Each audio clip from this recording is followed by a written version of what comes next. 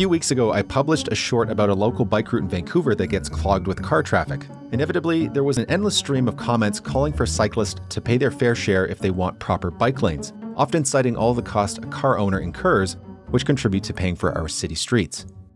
So, should cyclists pay taxes to cover the cost of the lanes they desperately call for? Yes, they should, but thankfully, they already do. My name is Nic, and mini movers are my thing. Subscribe for regular content. And to preface this, I'd like to mention that I own a car, as do most people who cycle, but for the purposes of this video, we'll put that aside. Also, while I am mostly talking about Vancouver, Canada, this is generally the same in much of North America. So, with that out of the way, it's true. Cyclists already pay a tax for the surfaces they ride on. Why this might be a surprise to some stems from a fundamental misunderstanding of how our streets are funded. Like many commented, there is a belief that the taxes associated with car ownership, like fuel, licensing, insurance, vehicle purchase, and maintenance, are the source for which we can build and maintain our streets, including the construction of bike lanes. Which is partly true. Some taxes associated with car ownership help fund our streets. However, as Patrick Johnson pointed out in his article, Who Pays for Roads, he estimated that of all the taxes an average driver in BC pays a year, just $50 of that makes its way into the streets. The rest going to different things like carbon tax fund and funding provincial highways, for which the gas taxes also don't fully cover. And even if all the taxes associated with car ownership went to covering the cost of street maintenance, it still would fall short by 40%. Which brings us to the reality that our streets and bike lanes are largely funded by property and sales taxes, something we all contribute to. Consider the same person in alternate realities. Let's call him Ted, living the same life, paying property taxes for the same home, but choosing a different form of transportation. One chooses a car and the other a bicycle.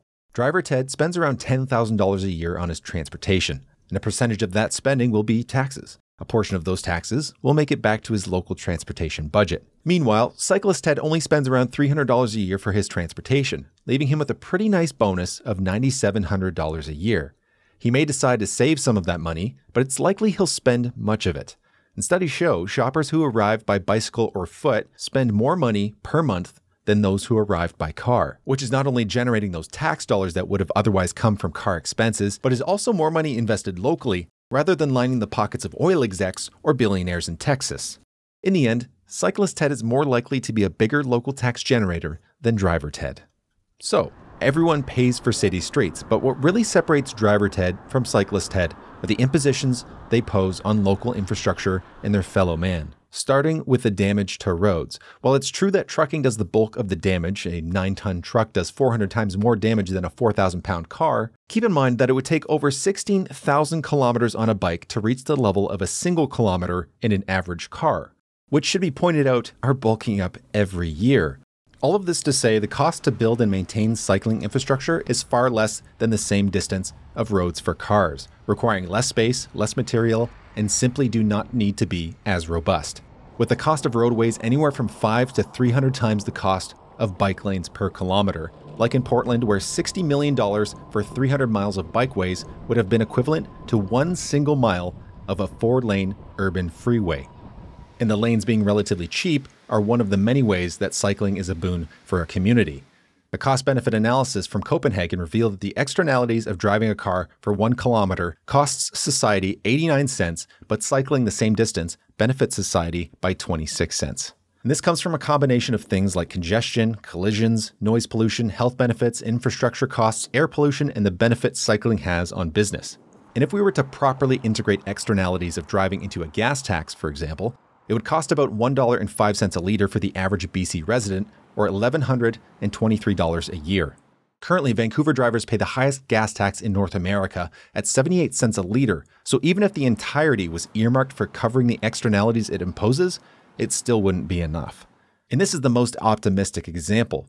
Many states in the US fall way short, like the average Mississippi driver imposing a cost of $2,300 while they currently pay $140 a year with a gas tax of just 6 cents a liter. And this is not even mentioning electric cars who don't pay gas taxes and still impose many of the externalities of ICE powered cars.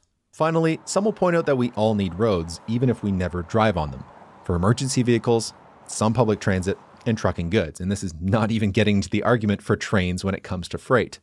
It's true, work in freight trucks, buses, as well as emergency vehicles are beneficial for everyone when they use the roads. But it ignores the fact that the overwhelming majority of vehicles we see on our roads are cars occupied by just one person. Even before getting into the cost that storing all these vehicles pose on society, a person driving a car occupies significantly more space on the road compared to someone using a bus or a bicycle often adding to congestion, while individuals who walk, cycle, or use public transit actually help free up road space, indirectly saving time for other road users, including those operating essential vehicles, and yes, even people who drive. So, judging by how often I see comments calling for cyclists to pay their fair share, it bears repeating over and over and over. Not only do people who cycle pay their fair share for the bike lanes they want, they give back and help subsidize people who choose to drive. So every time you drive, every time you park your car for free, every time you wait in a drive through lineup to get a cup of coffee, the space you take up in the community was bought and paid for by everyone. And at the end of the day, the more someone uses the streets and the bigger the vehicle they choose to do it in, the more likely they aren't paying their quote, fair share. So the next time you think about calling for entitled cyclists to pay their fair share, think about who are actually the entitled that need to shut the fuck up. And with that, my name is Nic, Thanks for watching.